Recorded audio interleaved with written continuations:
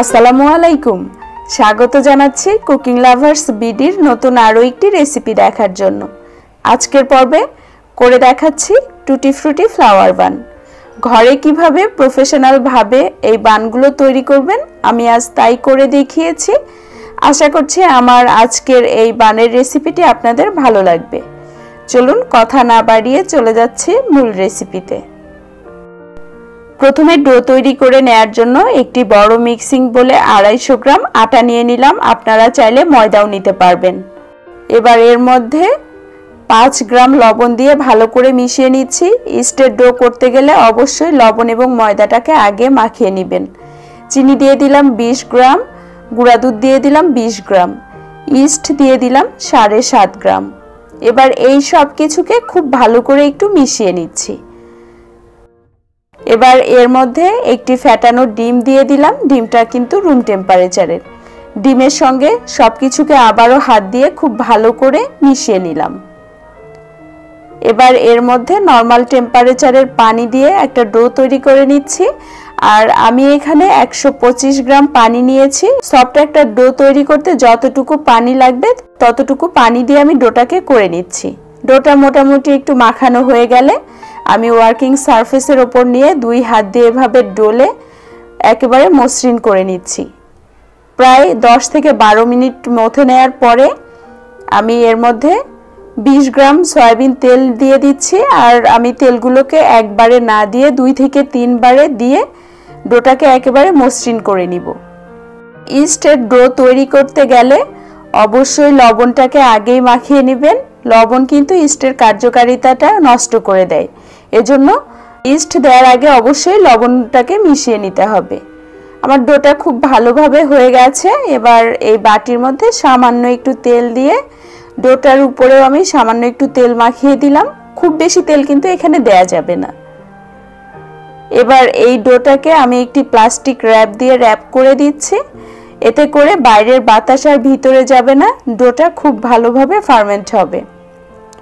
এবার এটাকে একটা সাইডে রেখে দিচ্ছি, আধা ঘণ্টা থেকে ৪৫ মিনিট বা ততক্ষণ পর্যন্ত যতক্ষণ না এটা ফুলে দ্বিগুণ হচ্ছে।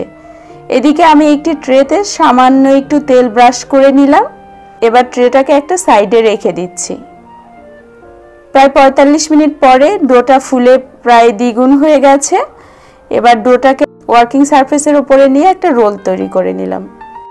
রোল করে নিয়ে এবার এগুলোকে এরকম ছোট করে কেটে নিচ্ছি। একটি অংশ নিয়ে এভাবে হাতের মধ্যে ফোল্ড করে ঘুরিয়ে ঘুরিয়ে মসৃণ করে নিচ্ছি। একইভাবে সবগুলোকে মসৃণ করে নিয়েছি। এবার একটি ভেজা কাপড় দিয়ে ঢেকে রেখে দিলাম যাতে ড্রাই না হয়ে যায়। এবার একটি পাতলা রুটি তৈরি করে নিচ্ছি। আর রুটিটা বেলার সুবিধার জন্য আপনারা চাইলে কিন্তু একটু ময়দা ছিটিয়ে নিতে পারেন। রুটিটা বেলা হয়ে গেছে, এবার আমি কেটে নিচ্ছি। আটটি ভাগে ভাগ করে নিলাম। এবার একটা ট্রায়াঙ্গেলের উপরে আরেকটা ট্রায়াঙ্গেল এভাবে বসিয়ে দিচ্ছি। দেখুন, এভাবে বসিয়ে নিতে হবে। এবার একটি গোলাকার কোনো কিছু দিয়ে এভাবে মাছ বরাবর প্রেস করতে হবে। এতে করে এগুলো খুব ভালোভাবে জোড়া হবে। এভাবে দুটি অংশ দুই দিকে ধরে একটু লম্বাটে করে নিতে হবে।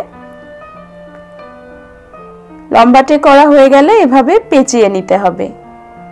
পেঁচিয়ে নিয়ে এটাকে ওয়ার্কিং সারফেসের ওপর নিয়ে উপর থেকে এভাবে আস্তে করে প্রেস করে দিতে হবে। তাহলেই কিন্তু এগুলো এরকম ফ্লাওয়ারের মতো হবে।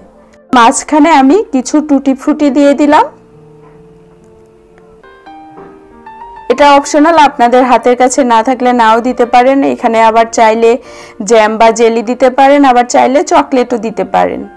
এবার যে ট্রের মধ্যে আমি তেল ব্রাশ করে রেখেছিলাম, সবগুলোকে এই ট্রের মধ্যে নিয়ে নিলাম।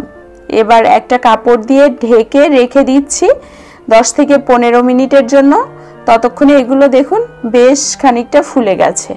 এখানে একটি ডিমের কুসুম ফেটিয়ে নিয়েছি। এবার প্রত্যেকটা বানের উপরে ডিমের কুসুমটাকে ব্রাশ করে দিচ্ছি। আপনারা যারা ডিম পছন্দ করেন না, তারা এখানে নর্মাল টেম্পারেচারে দুধও ব্রাশ করতে পারেন। এবার এটাকে ওয়ান সেভেন্টি ডিগ্রি প্রিহিটেড ওভেনে বেক করে নিতে হবে পনেরো থেকে বিশ মিনিটের জন্য। আপনাদের ওভেনের টেম্পারেচার অনুযায়ী কম বেশি সময় লাগতে পারে। আমার আঠারো মিনিটের মতো সময় লেগেছে। আমি একটি বান ছিঁড়ে দেখাচ্ছি। দেখুন, ভিতরটা পারফেক্টভাবে হয়েছে। এই বানগুলো তৈরির জন্য কয়েকটি টিপস অবশ্যই ফলো করতে হবে। বানগুলো আপনারা যতটা সফট করতে চান, ডোটাকে কিন্তু তত ভালোভাবে মথে নিতে হবে। আর এই বানগুলো তৈরিতে আমি ২০ গ্রাম চিনি ব্যবহার করেছি।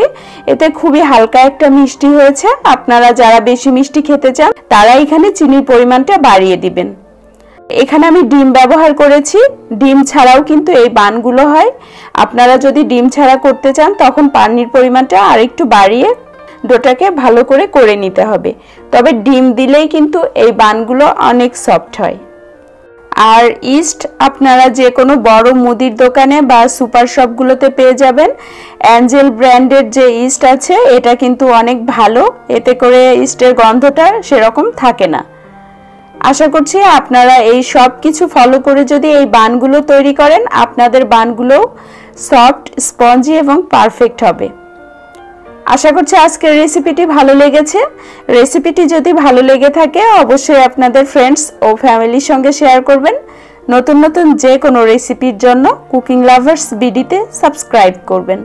যারা সাবস্ক্রাইব করেছেন, তাদের অসংখ্য ধন্যবাদ। ভালো থাকবেন সবাই নিরাপদে থাকবেন সুস্থ থাকবেন। আল্লাহ হাফিজ।